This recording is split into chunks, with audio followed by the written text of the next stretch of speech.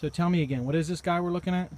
Uh, the um, king um penguin. He's the king penguin. Yeah, he's the king penguin. So- What's this thing you're putting on his head? he's crowned.